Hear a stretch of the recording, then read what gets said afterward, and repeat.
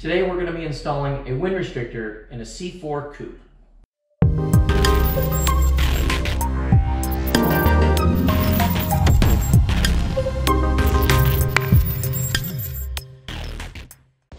This episode of the Corvette channel is brought to you by Wind Restrictor, makers of the ultimate accessory for your Corvette. Hi everybody, welcome back to the channel. My name is Scott and today we're going to be installing a wind restrictor in my C4 Corvette. Now this restrictor is the newest uh, restrictor in the wind restrictor product line. Um, they've had the C4 convertible restrictor for a while, but they just released this new restrictor for the coupe. And I have been, as you guys know, I've been doing wind restrictor videos for a lot of different cars for a long time. And I knew that they were working on this. And I was super excited. I was like, hey, I want to be the first one to get this done. So my car is actually the very first production uh, restrictor to ever be installed. Uh, there was one other one uh, I think I might have a picture of it. It's a white ZR1, and they used that car for the prototype to be able to uh, to get the brackets to line up and do all that stuff to get this thing to work. And I got to tell you, this looks awesome. They did a great job with it, and um, I am just so tickled. It was worth the wait. And guys, those of you that have C4s, you know there's not a lot of stuff that we can do to our cars nowadays. There's not that many people that are doing stuff for them. And I think this is an awesome addition and uh, I, I, just can't wait to be able to share this with you. And so anyway, uh, we're gonna go ahead, uh, I'm gonna show you how this is installed. Um, I'm gonna go ahead and I'm gonna put some information here periodically throughout the video uh, on where to go, uh, windrestrictor.com. And I'm also gonna be able to put a, a coupon code up here on, and that way um, you'll be able to get a discount, okay? So uh, but anyway, we're going to touch base on how to wire it a couple different ways. We're also going to talk about uh, plugging in a auxiliary battery so you can be able to run this like it's running right now. Um, so if you're at a car show or something like that, uh, you'll be able to do that without running your battery dead. So anyway, guys, sit back and relax and enjoy the show.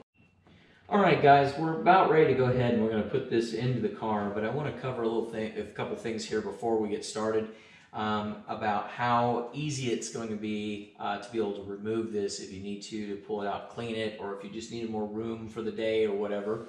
Uh, Wind Restrictor has kind of redesigned how they do things uh, on this new model, and it's very cool because I have a C7 and the wiring is already hardwired in.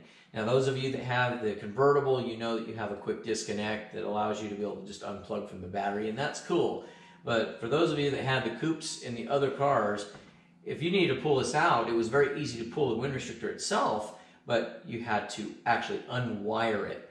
And so what they've done is they've incorporated a quick disconnect plug here. This unit happens to be a single wire unit, but they also have a multi-light kit for them also. And they have a new connector for that. So you'll be able to pull that out also. Now, the there is one bracket, you're going to see that in the installation. There's just a thumb screw that's right up here in the front, and it connects onto the halo. And then you have the main brackets right here that connect down here on the, the roof holder, okay, when you're, when you're storing your roof and you have it off. And then there's two wing nuts on that bracket. So that way you can undo those two wing nuts, undo this, this roll knob here, here and you'll be able to pull it out by taking the connector loose. This also allows you to be able to uh, have a battery. Uh, so if you want to be able to you know, run this during a car show, you can do that. And there is also a. Uh, I didn't get it on mine, uh, but the they have a dimmer module. So whether you are doing uh, multicolor, you would have a dimmer, and, and they've also added a, an option here so you can get the, um, the dimmer um, as part of the single light kit. So um, they really, I think, thought it really through, and I think it's it's um, it's I think it's really good that you can take it in and out if you need to. So what we're going to do now is uh, Terry and I we already cheated because of, you know we always have problems getting the tape off, but there's sticky tape right here at the bottom. Okay, and so what we're going to do here, the first thing we need to do is it comes with the alcohol swabs and it comes with an adhesion promoter pen. So what we're gonna do is we're gonna go ahead and we're gonna wipe down uh, the top of this little guy right here. Gonna wipe that off, get any oils or anything off of it. Um, C4s have been around a long time, so they probably got Armor All on them, most likely. Okay, and you can see right there, there's a lot of stuff on that. Okay, then you're just gonna let that dry for a second, and then it comes with the adhesion promoter, and all you're gonna do there is you're just gonna squeeze it right there in the middle, and you'll probably be able to hear it, hear it crack. Just do that all, all the way along there, okay? And just squeeze it around. It's like crushing glass. And then this acts like a uh, kind of a cotton swab right here. And what you can do is you can just put this right on there. You can probably see that getting wet. And this isn't gonna hurt anything. This just helps that glue stick because once you have your top off, and Terry's gonna do that side. Once you have your top off, um, there's a lot of air coming through here. And so that's another point that I want to touch base with too is that uh, Wind Restrictor is uh, is um, recommending that you allow the the tape to bond for 72 hours before you get out there and start doing any aggressive driving, high speed driving with the top off. Okay, so that way it gives a chance for this to bond. So now we've got that, we've got that done, and we're going to uh, we're going to go ahead and just kind of warm these up. Now, I don't want you to put any heat on on the plastic of the car itself. It's not needed. And um, so we're just going to heat these up just a little bit. I'm just going to warm them. I'm going to literally just warm them up just to just to activate the uh, the glue. We don't need to have to put a bunch of heat onto it. All right. There we go. Now, again, if you guys can reach, I can't because I'm short. Um, but if you guys can reach and you want to be able to put it down in there yourself, you can, not a problem. But if you've got somebody that will help you, then you want to make darn sure that you have somebody just give you a hand, okay? So now all we're doing here is we're just going to go ahead and we're going to set these brackets right on top of, of these pads, just like that. Okay, so now that we've got these down in place, you want to hold these for about one minute, okay? Don't release it, just press nice and firmly and hold it there. And this is where it's going to be able to help get it to bond. Okay, now once we got that part, then what we'll do is we'll go up to the front of the, uh, the cabin up there, and that's where we'll put our other little bracket that goes right up here on the top of the halo. And we'll wipe it down with alcohol again, and also the promoter, and then that way um, it'll be nice and secure. Okay, and then at that point we'll jump into the wiring. All right, guys, so now we're in the car. So we're just to wipe this down. Let it dry here for a second. And then we're going to go ahead and we're going to put that, that adhesion promoter on here. In the meantime, now my halo is cracked right here, as you guys can see, but it should be just fine. Because it's a big enough, big enough piece. And then Terry has the bracket itself, and he's heating that up for me. And again, he's just warming it up just to activate the activate it. And so now what we're going to do is we're just going to swing this little guy around, bring it around like so. Terry, do you have that nut for me? All right, so now that we got the bracket on here, it's all nice and tight. We're going to go ahead and we're just going to take our little little nut here, and we're going to start that on there like so. And this is just going to support this so it doesn't rattle while you're going down the road. Okay. Let's tighten that up. Just finger tight like that. And then you're good. Okay, so now we are, as far as the, the restrictor itself, it's installed. So now we're just gonna jump into uh, wiring it up so we can get it all lit up. All right, guys, so now that we've got the, the restrictor installed, what we're gonna do is the, the kit comes with a, a cigarette lighter adapter that just, you can just plug it into the cigarette lighter and you can go ahead and plug it into the restrictor and you're good to go, okay? So when you want it to work, you're just gonna really just go on over there like that, pull the cigarette lighter out, plug this in. And then you can you can route route this wire however you see fit. You can bring it up here through the, the center console like that and run it over here and tuck it under your carpet or whatever you want to do. And then you can just plug it in to the restrictor and there you go. It's lit up. They're also going to include a fuse tap. And so what we're going to do here is I'm going to just pull this loose and what I did was, and I'm gonna, I kind of did this, uh, figuring out how to do it to be able to show you guys how, and then I kind of locked myself in. So I have this little pigtail that's right here, and um, I'm gonna have John come around to the other side here in a second after I explain this. But what I did is I literally, this has one end on it, the other side does not have an end. And so what I did is I took an awl and I just poked a little hole into the carpet, and then I ran the wire down through and down through into this carpeted area down here. And then that way my restrictor can plug into here like that, okay? And then it will be able to just come on with the car, okay, with the key. And then you don't have to worry about having the cigarette lighter adapter. All right, so um, what I'm gonna do, I'm gonna have John come around to the other side and I'm gonna show you how to take this all apart and exactly how to go ahead and tap into using a fuse tap to um, tap into the cigarette or the uh, the fuse panel so you can have this come on and off with the car. Okay. All right, guys. So the easiest way to do this to get that wire up to the fuse panel, as you know, if you have a C4, the fuse panel is right here, and so easiest, quickest way to do this is to go ahead and take these screws here loose. Okay, they're just Phillips screws.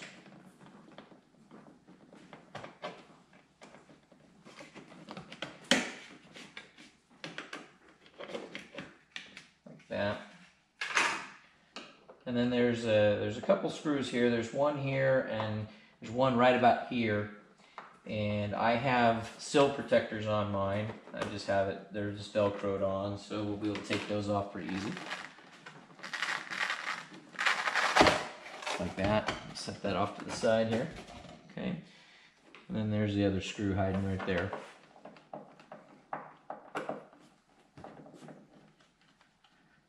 Okay, we'll pull that little guy out, set that up to the side, and this will lift up and off. Okay, we'll get that out of the way. So now what I did, like I told you guys, I told you that I, I was already trying to figure this all out, and we ran the wire down here. I just kind of tucked it down here for a second just so it was out of the way so I could show you guys how to do this. But really all you're gonna do is you're just gonna tuck this, tuck this wire down here like so, and underneath the carpet, like that, and here down through the down through the base here, right, all the way down. We've got our wire coming all the way over to here, and we've got a 10 millimeter uh, ground bolt right there. Okay. Now, if you for some reason don't have that, you'll need to find a, a uh, ground wire. But what we did is we just took this and I separated the wire, as you can see here, and we've got, I've got a negative, I tied into the negative wire here, and then we still have our positive here. We won't be using this negative wire here, just that one, okay? But what we're gonna do here is we're gonna take our eyelet, we're gonna put it onto this 10 millimeter screw, and then we're gonna run our, our uh, our positive wire up to the fuse tap in the fuse and I'll show you how that's done here in just a second okay so we're gonna go ahead and we're gonna do the 10 millimeter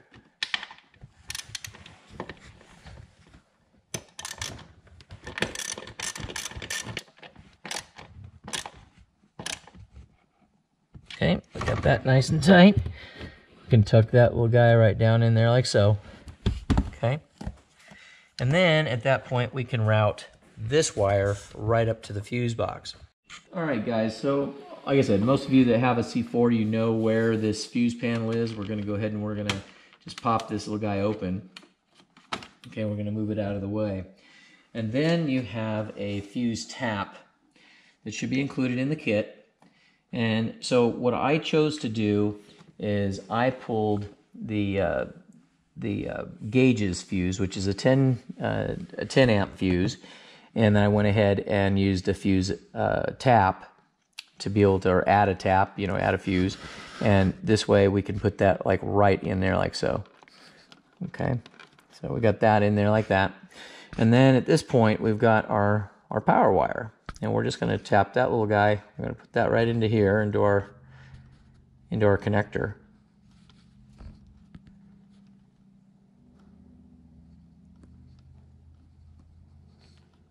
Okay, just like that.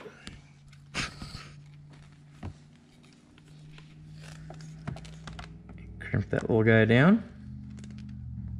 All right, we're good. Now we don't need this negative wire anymore, we're just gonna go ahead and clip it off. Okay, just like that. So then at that point, we should be able to go ahead and turn the key on and our restrictor should go ahead and come on. So Terry's going to go over and he's just going to turn the key on for us. And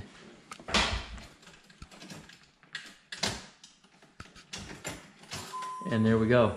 And you can see our restrictors coming on and off with the key. Okay. What we're doing here, we're just going to wrap this little wire. Now, this little guy, this little rubber, this just comes loose. You can just pull it with a pull pin. And then if you also need more room here to be able to get it up in there, there's a Phillips screwdriver, or a Phillips screw right there, that you can pull this out and down a little bit more, okay? And then basically all you're doing is just tucking this up like this. You're just bringing it around, okay? Now, it's kind of hard to, to show you all this part of it, but we're just bringing it around to the top side of this fuse panel. And you can see what we did is we took a notch and we notched out the fuse panel so this wire can actually go through it. You see like that, hopefully. Okay, because I know that this is very tight quartered in here. And this way it fits right in. I drop my drop my little lock screw. Okay, just like that. And then we can tuck this up underneath. Okay, like that. And then we can take our black wire here and just tuck it out of the way like that. And then we can go ahead and just put our, our little tab in place. That's totally nice and clean. And we're ready to just go ahead and put the, the door sill back in place.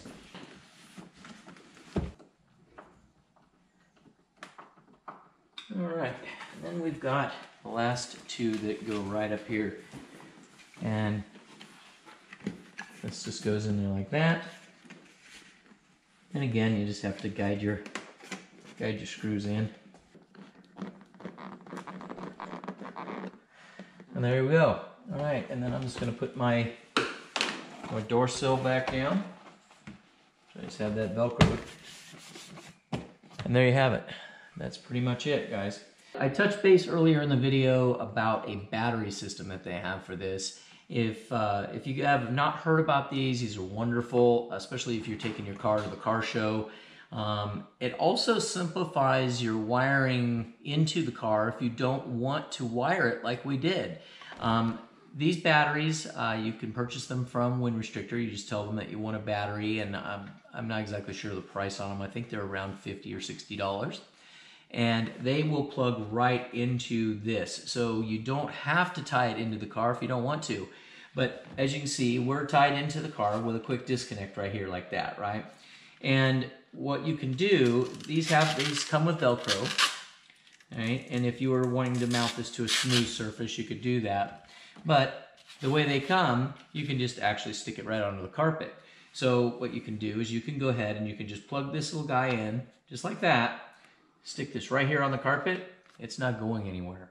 And then at that point, you can just turn it on and off, just like that. Now, the awesome advantage of this is that I have seen so many car shows where the people have run their wind restrictor and all of their other LED lighting throughout the day, and then when they get ready to go home after the end of the show, they go to hit the starter and their battery's dead. Okay, so this is a super, super advantage to that. This allows you to go ahead and run this restrictor completely all day long. These give you about 14 to 16 hours worth of time on this uh, um, on the restrictor without touching the car battery at all. Okay, so so the best of both worlds is by having a battery like this that will allow you to do this when you're parked and you're doing your car shows, and then also being able to have your regular wiring that will allow you to plug the wire into it and then that way it goes on and off with your car. Okay, so so just consider that as an option. And when you are talking to Wind Restrictor, be sure and mention that to them, and they'll be able to help you out. So, guys, now that we've got it in, I want to touch base with you about the. You guys have a lifetime warranty with this through Wind Restrictor. Okay, they'll cover the lighting, they'll cover the controllers, the you know the restrictor itself as long as you don't use Windex or any abrasive cleaners on it. Uh, the kit comes with uh, a little bottle and a special rag that's made to be able to wipe this down. It's called Nova Novus Clean, and you can get that at Walmart or um, you know any of the stores like that that will have it. Um, you can probably also find it on Amazon, that type of thing. Okay, but use this. This cleans it really, really well. Doesn't leave any residue on it, and it it keeps it nice and clean. All right, guys. One other thing that we have not covered yet, and I wanted to make sure that this to ease your mind, is the fact that even though you got your wind restrictor in here, your top will still fit in there. Okay, so we're going to go ahead and we're going to put the top in this way. Um, you can see that. So we're just to go ahead and set it in place here. And,